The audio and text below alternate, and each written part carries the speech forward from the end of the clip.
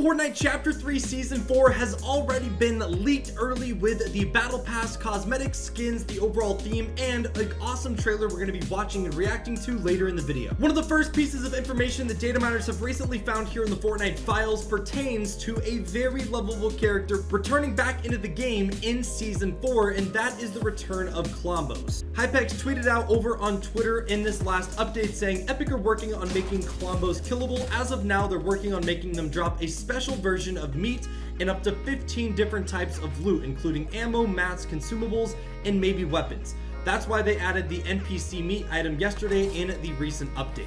Now this is very exciting news for all of you Klombo lovers out there because if there was no chance of Klombos returning into the game at a later date, why would Epic and Fortnite still be updating and working on Klombos, changing it to where they can be killable, dropping different types of loot if they were never going to make their way back into the game? They would have done this back in Season 2 whenever Klombos were actively in the game.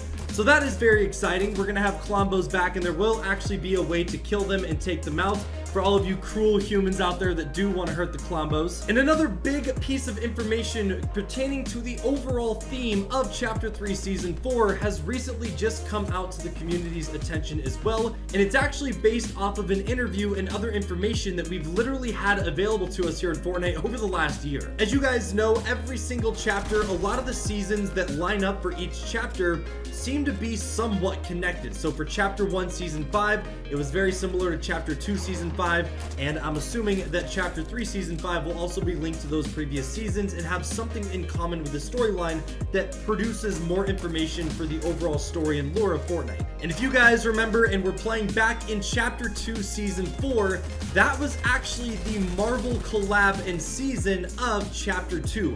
I'm pretty sure it's safe to say that a lot of people really, really enjoyed that season. I thought it was one of the best seasons we had in literally all of Chapter 2. So the fact that next update for us is going to be the Chapter 3 Season 4 update, there was already early speculation that Chapter 3 Season 4 could be themed around Marvel. And in an interview that Donald Mustard did, who if you guys didn't know is the creative director and basically the mastermind behind the entire Fortnite universe, he actually did an interview back during the Galactus live event in Chapter 2 Season 4 where he gave us a lot of lot of where he gave us a lot of information about possibly having Marvel return in this chapter.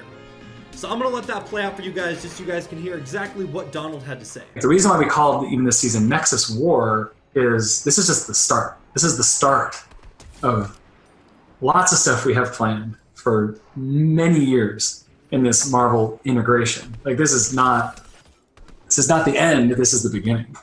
Even now, we're plotting out kind of what are some of the big cool things that we're doing even in the next year and the year after that. And um, so that's really it. Is I have so many favorite characters that's going to sure. take years to get them all in, in into this world. MODOK is amazing, and so it's really just thinking like, again, it has to all be in an authentic way. So it's like, if MODOK learned that there was a slice of reality where Fortnite exists, and and you don't have enough context yet, and the players don't have enough context yet of what's actually going on in, in the world of Fortnite. But I think MODOK would be very interested in what's going on there, and and maybe there's a way he plays into that. And there you had it. He made it very, very clear that this was literally just the beginning of this Fortnite times Marvel collaboration. He said that they had plans and things that they were working on literally for years to come. And here we are. Two years later, after Chapter 2 Season 4 had officially come out into Fortnite Battle Royale, we are literally just over a month away from the release of Chapter 3 Season 4 with early leaks and information, with potential that Season 4 of Chapter 3 could actually be completely themed around Marvel again and introduce a bunch of brand new Marvel characters and have a new Marvel protagonist added to the game, similar to what they did in Chapter 2 with Galactus and that entire live event, which, like I said, a lot of people can agree that was one of the better seasons they did in all of Chapter Chapter 2, and that was an amazing, amazing live event. It was actually the first event where we were able to interact and actually drive the vehicles in it as well. And I probably should have mentioned this earlier in the video, but for those of you guys that are curious on when Chapter 3 Season 4 is actually going to be released, I know it is a bit early talking about leaks, but considering this is such a big breakthrough in information for what this season can hold, I definitely wanted to share it with you guys. But it says the Fortnite Season 4 release date hasn't officially been confirmed, but according to the Chapter 3 Season 3 Battle Pass, as seen on the Epic Games website and in-game message on Battle Pass screen, we can determine the current Season 3 Battle Pass will end on September 17th, which means Season 4 start date will most likely be around Sunday, September 18th, following the usual downtime for the transition, but it will be a while before we receive the official confirmation. And honestly, this makes sense. September 18th is a perfect release date for this brand new season as it falls on a Sunday. Typically, Fortnite does these big updates middle of the week, but in pure but in the last few seasons, it seems that they have shifted when they drop new seasons to the weekend just so more people can be at home and enjoy the brand new update. Now, where it gets very interesting and where it actually seems almost as if it's not just a coincidence anymore is the brand new Fortnite times Marvel comics that have been released over these last few months. You guys did not know Fortnite is doing another collab with Marvel where they're releasing a brand new series of comics. There's actually going to be five different issues with five different storylines, and the first one actually came out on June 8th. The second one dropped on July 13th, and then from there, about every few weeks, we are going to be getting the third, fourth, and fifth issue that gives us exclusive Marvel-based rewards for everyone that does go out and actually buy these comics. Now, like I said, I don't think this is a coincidence because if you guys look at this graph that shows the release dates and all the different items and exclusive things you're able to earn, the fifth and final version of this new comic series is coming out on September 28th, which is only 10 days after the Chapter 3 Season 4 season is supposed to be launched and the big update will be revealed. And the reward that you're going to be getting for this is the loading screen based on Fortnite times Marvel Zero War. So maybe the whole reason Fortnite and Marvel released these comics when they did, and it's called Zero War, is because this is going to be Chapter 3's version and extension of what we saw back in Chapter 2 Season 4, which was known as Nexus War. Maybe every single chapter on Season 4 is going to be dedicated to a new Marvel collaboration, and there's going to be a new themed war that we partake in. So we have Nexus War in Chapter 2. We have potentially a Zero War coming in at Chapter 3, and then maybe in another few years, whenever we are whenever we do get to chapter 4 season 4 there could be another one as well. This could be something that Fortnite and Marvel just like Donald said in that interview had planned out for a very long time. And I think this is super super exciting. And like I said I don't think it's a coincidence. I think all of this Marvel stuff lining up in almost the exact date of a brand new season release was definitely done on purpose by Epic and Marvel to build it up and hype everyone up.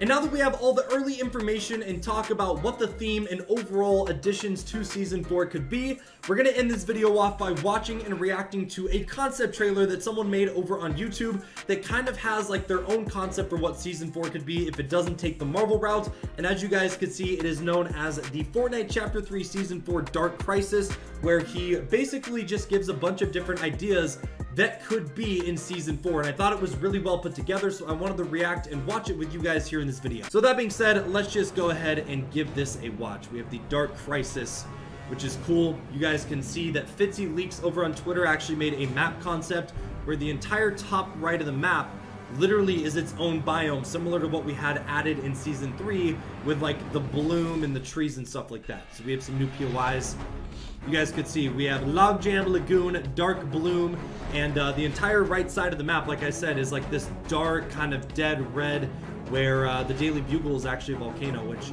I think this map looks really good, man. It actually looks re very realistic. So I'm excited to see what the map changes could potentially be, depending on the theme of the season as well. But uh, yeah, man, I think this is a really, really cool map and idea. And of course, we have the zero point located over in the middle of the map still. And then for the storyline, he says, when Bloom Watcher collided the realities and gathered their energy, she reached her final form.